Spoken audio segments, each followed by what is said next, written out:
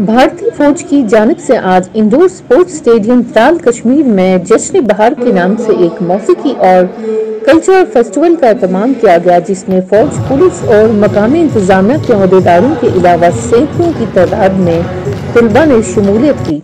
इस मौके पर मौसीकी और दीगर कल्चरल प्रोग्राम पेश किए गए, जिनको हाजरीन ने खूब सराहाया बाद में इम्तियाजी पोजीशन हासिल करने वाले तालब इलमों और फनकारों को इनाम से नवाजा गया। इधर शुल्का ने फौज की जानब से मनदा प्रोग्राम की, सराहना की और ऐसे प्रोग्राम मुस्तबिल में भी मनद करने की मांग की है।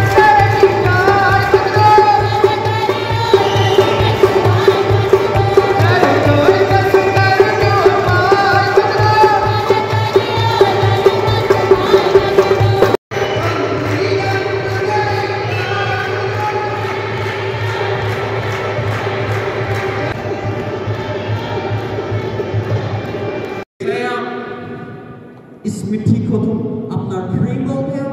हाँ ये कोई बाप की मिट्टी नहीं वो जगह वाले बाप की मिट्टी है। इस मिट्टी में मेरे देशवासियों का लहू मिला है। मैडम से मुझसे नवाजे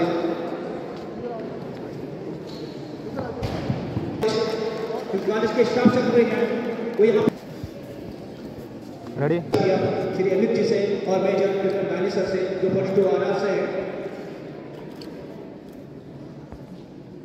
बिस्मिल्लाहिर्रहमानिर्रहीम। आज का जो प्रोग्राम है, ये 42 आर आर बेस्ड कैंप है हरदमीर त्राल।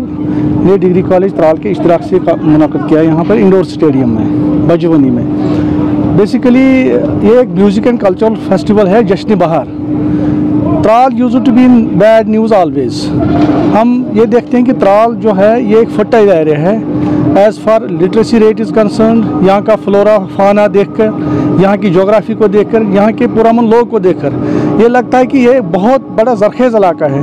तो हमने सोचा कि एक गैप है between youth and the security establishment also the administration we want to bridge that gap उस गैप को पुर करने के लिए ये प्रोग्राम मुनद किया गया ताकि ये बच्चे जो हमारे हैं, ये एक ट्रामा से बाहर आ जाएँ। ये देखें कि इस तरह के कल्चरल इवेंट्स जो हम ऑर्गेनाइज करते हैं। ये हमारी एक हेरिटेज भी है, एक revival of the heritage aspect भी है। तो हम चाहते हैं कि ऐसे प्रोग्राम्स हर जगह मुनद होने चाहिए।